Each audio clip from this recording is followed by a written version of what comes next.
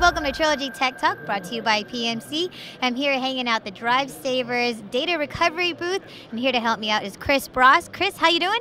Excellent. Excellent, awesome. So Chris, I have noticed on the side over here that you have burnt cell phones, cameras. What's up with that? What's up with that? Well, we're a data recovery laboratory. So data can be lost in lots of different ways. It can be lost through physical crashes where a drive just dies. It could be in a fire, it could be smashed, it could be submerged in water, but all of it has valuable customer data on it, and customers want their stuff back. So we provide professional secure data recovery services for any type of media, any type of flash, and any type of device. How are you guys restoring this? Ah, well, it's a magic wand and a voodoo doll, and a lot of research and development and technology in the lab. Um, lots of proprietary tools are developed for data recovery, and in fact, this morning we presented here at Flash Memory Summit on uh, data recovery of SSD on our panel. And what I spoke about was tool development in the laboratory in cooperation with solid state drive manufacturers to maximize data recovery from their devices. Great, so anyone who has crashed a cell phone, you know who to turn to right?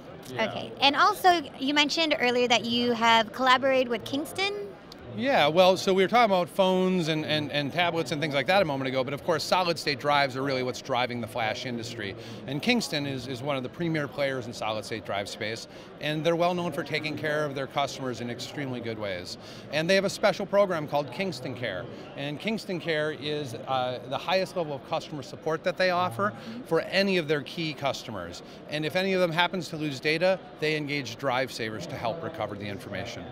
And how are you guys differentiating yourselves amongst your competitors? Oh, well, that's a great question. So, in the world of data recovery, if you Google data recovery today, I think you get about 70 million hits. When we started data recovery, there was no Google. In fact, the internet wasn't even in use. We started 30 years ago.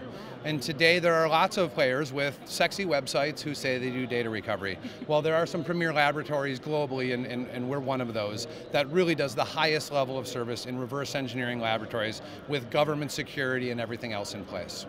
Right, why should consumers come to DriveSaver's data recovery? Mm, excellent. So consumers are very important, right? Because consumers are price conscious, but they still need their information. They're not in the enterprise, and they're likely not backed up.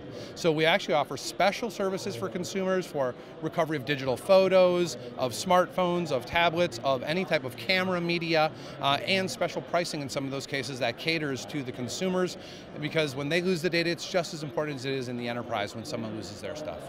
All right, well, Trilogy Tech Talk followers, if you ever mess up your camera, your cell phone, you know who to turn to, right? Right. That's right. We're here for anything, any data loss from any device. All right. Well, thank you very much, and uh, good luck with the rest of the show. Thank you so much. Thank Appreciate you. it.